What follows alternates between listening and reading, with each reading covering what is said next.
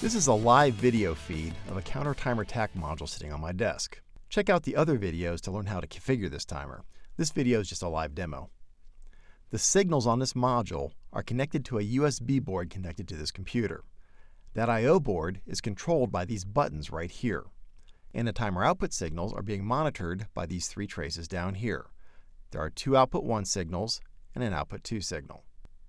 It looks like we have a set point of 3, and since this timer is set up as a repeat cycle timer, we would expect to see an output pulse on these traces right here every 3 seconds. Let's try it.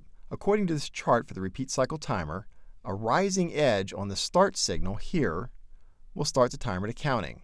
When a timer reaches its set value, in our case 3 seconds, it'll reset and start counting again, and it will issue a pulse on the outputs.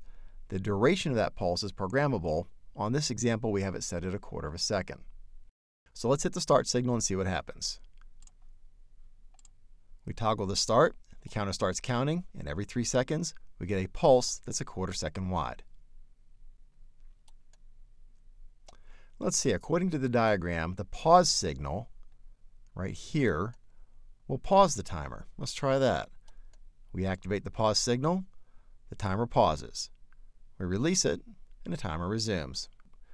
It also looks like the reset signal will clear the timer, and that the only thing that will start it back up is a start signal. Let's try that.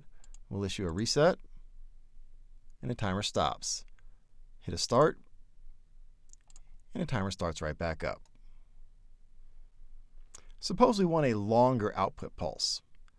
Well, just hold down the mode key for 3 seconds, 2, 1000, 3, 1000, and that puts us into the configuration mode.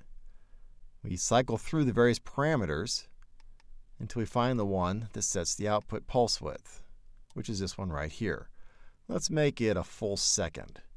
So I'm going to press the yellow key which puts a cursor on this. You can't see that on the webcam, but this 5 is blinking rapidly right now.